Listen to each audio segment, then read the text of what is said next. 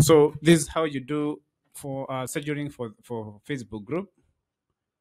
Remember, we said that uh, the, the scheduling happens for business-oriented uh, platforms. For instance, we are talking about Facebook page, talking about Facebook group, and when you come here, do you want to post? Remember, not I'm not creating a post. I'm just showing a sample, and I'm going to just type anything here.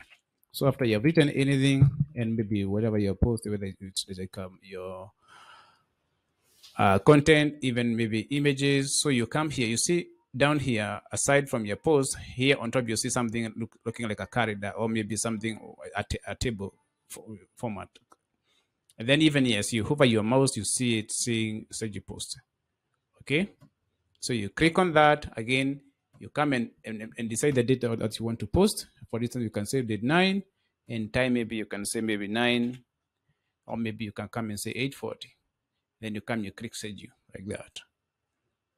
Then your post is scheduled and you're good to go. So that's how it goes. It's very simple and it's very practical.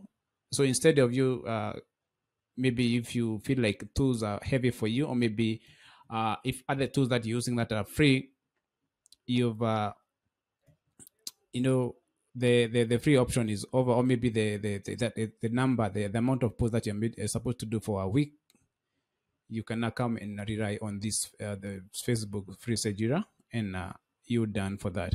So the next one I'll be creating for you is another platform or, or also owned by Facebook is where you can be able to post on Instagram and also Facebook. It's a free platform and uh, which is separate from their their social media platforms.